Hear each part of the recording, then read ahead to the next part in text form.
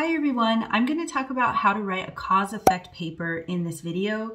Specifically, I'm just going to go over the types of steps that you might want to take before you write a cause-effect paper and also show you what one looks like and the type of structure you might want to use for a cause-effect paper. So cause-effect writing is really common writing and it's not just in English classes, it's in everything we do, even just emails to friends or something, we focus a lot on the causes of things, the reasons for why they happen, as well as the effects they have on us, our friends, our society, our neighborhood.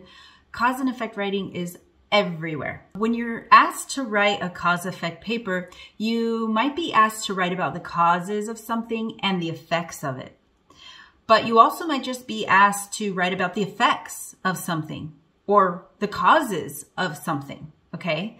And I'm gonna show you in this video just a simple example of running because I always like to use running in my, my examples. It's a, I feel like it's a simple topic, not too heavy, and then, um, and it's easy to see the structures that um, we can use in this type of paper. Um, so I'm going to first uh, advise that if you have to write a cause effect paper that you really think about the topic first. Just make sure you understand what you're going to be writing about, what you need to write about, and also take a look at the issue that you need to write about and really look to see what has caused it. And there's probably more than one, right? So like if you're thinking about running, you know, running is something you do. Running is something I do. Well, why? What caused that for me? It's not just one thing. There's many things, right? And then you want to look at the effects of that thing. So what are some of the effects of that thing? Like for in this example, running, what are the effects of running in my life? And those could be health, those could be all kinds of things. So you want to take some time and go through some sort of brainstorming to get ideas about the topic. Okay. So I have here on this handout something that I found online. It's just a little graphic organizer where you could put the topic in the middle and then you put on one side different causes for that topic. And then on the other side, different effects that are a result of that um, topic in the middle, okay? And you can add way more uh, than what it gives you. This is just an example of one that could help you. It's just a place where you can start and get some ideas. Once you got those ideas, you don't need to keep them all. You can get rid of the ones that you think aren't good or make no sense or aren't related. You know, you're going to need to sift through it all and keep the ones that you really want to focus on. And if you're going to talk about causes and effects, that's fine. A lot of papers ask you to do that. Uh, but you don't always have to discuss causes and effects unless your assignment requires that you do that. Sometimes you just need to talk about the causes. So maybe when you do your brainstorming, you realize you have more causes than effects. Then write about the causes. You obviously have more to say. But maybe you see after doing that brainstorm that you have way more effects for the topic you're talking about. Well, then write about the effects and not the causes. Okay. But here, let's look at a type of, um, you know, organizational structure for a cause effect paper. So when you're writing cause and effect, when you're thinking cause effect, um, you can look at the body of your essay or body of a paragraph, right? Where you're developing your ideas in this way. The first one is called the block, the block method. Okay. And the block method basically has you in one block focus on the causes, okay, of the issue you're talking about. And then you transition at some point in your paper to the effects of that issue. What are the effects? And that's the second block. So you might have one paragraph focusing on the causes and one paragraph focusing on the effects. Or maybe you're writing a 10 page paper. You might have five pages focusing on the causes and five pages focusing on the effects. You can make this block structure work for any length of a paper, even if it's just one paragraph, one book, whatever it is. And then the other one is the chain mm. method, okay? And this is where you're kind of connecting cause, effect, cause, effect, cause, effect, cause, effect, all the way throughout your paper. It could be in one paragraph, where you do cause effect, cause effect, cause effect. It could be an essay, it could be a book. Okay, so that's it. When my students write cause effect papers, I don't even they don't really use either of these. They are in some way, but not not so much. They're what they're doing is they're usually I ask them to just focus on one thing, like what are the causes of this thing, right? Or what are the effects of this thing? Okay, so I'm going to show you a sample of a cause effect paper that does just focus on effects. In this case, it's just on effects, okay? So here we go. All right, so here's a sample cause effect paper. It's called Running as Medicine. As I sat up in bed, staring at the walls in the dark room for the third night in a row, I made a decision to do something about the stress that was causing my anxiety. The next day, I decided to go on a light run. What happened as a result of that run has helped me in many ways. Although running can't be a cure for everyone's health issues, it's an effective way to manage health. Now I'm going to stop there and just point out this is the intro paragraph. Let's imagine this is a five paragraph essay. This is just a simple, not a great example. It's a good, you know, it has a hook, it has some connecting info, and it has a thesis. It's an okay um, paragraph here for intro. Here we have, here we have the hook. Here we have some connecting info that connects to the thesis. And here we have the thesis. The thesis, remember, is the main point you're trying to make in your paper, which is, although running can't be a cure for everyone's health issues, it is an effective way to manage health. That's the thesis. So now throughout this paper, I'm looking to see what the effects of running are. Because remember, this paper is going to discuss the effects of running. One major effect running can have on a person is stress relief. Because most of us have busy schedules and limited time, it's easy to have a buildup of stress over time. That stress can manifest itself in our bodies in different ways, and one such way is through anxiety attacks. It's well known that ex exercise and fitness can help a person manage stress. And running on a regular basis can result in a reduction of stress and anxiety. To be specific, I was experiencing some anxiety due to a change in my job. I decided to run three times in one week, and as a consequence of this, I was able to sleep at night for longer periods and do my job without a tight knot in my chest. It is because of this hobby that many others experience similar stress reduction. So I'm going to stop here and just point out this is my first body paragraph that discusses the first effect of running on my health okay?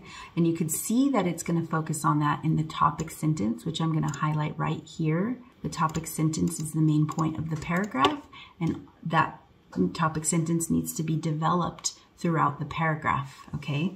So everything that comes under here should be really developing, explaining, and supporting that topic sentence about, um, you know, I have some supporting points, um, which really kind of start um, here, okay? This is my main supporting point that I'm trying to bring out. And then here I have really, I get more specific.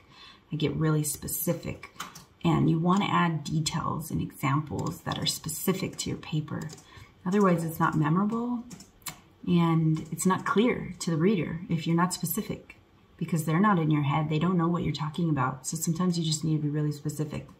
Next paragraph, next benefit. Another positive benefit or effect that running can have on a person, person's health is the ability to focus on that task at hand more attentively. So there's my next point that I'm going to develop, my next effect of running.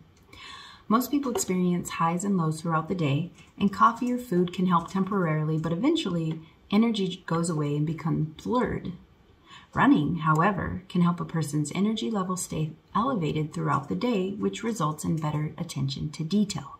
That's my point I'm trying to make here. For instance, this is where I get specific. For instance, before I started running, at 2 o'clock each day, I became lethargic at my work and would make many mistakes. Afterwards, however, I started to notice that I wouldn't get tired until right before dinner and my work had much fewer mistakes in it. So here's my specific example to illustrate and explain that point that I'm making there. A final, my last body paragraph, a final advantage or effect to running is that it forces the runner to go outside and breathe some fresh air. So that's my last point, my last effect. This is important because vitamin D comes from being outside and the benefits of that vitamin are endless. One such benefit is that of our moods. I found that after one month of running outside three times a week, I started my days more enthusiastically than before. I waved to more people on the streets and had cheerful small talk with neighbors. Being outside also gives runners the chance to forest bathe if the running is done on trails. In my case, this is true. I run through small streams of water, let the leaves along the trail brush my face, and smell the dirt and flowers along the way. Having an elevated mood is directly related to being one with nature through this type of forest bathing. Okay, so here I actually have two really good, strong supporting points that I'm going to make about the effects of running. Um, in that, you know, being outside develop helps us with our moods, okay? And I give an example of how I started feeling better after I started running outside. And then the second thing about being outside is that it gives you the chance to forest bathe. And then I give an example of doing that here with the smells and the touch and all that. Okay, so now I'm going to read the concluding paragraph. In the end, it is undeniable that running has benefits that reach far and wide for those who partake in the activity. These effects reduce stress and anxiety, help with more focus and attention to detail, and provide a person the chance to be one with nature outdoors. It's no wonder I don't let anything interfere with my weekly runs.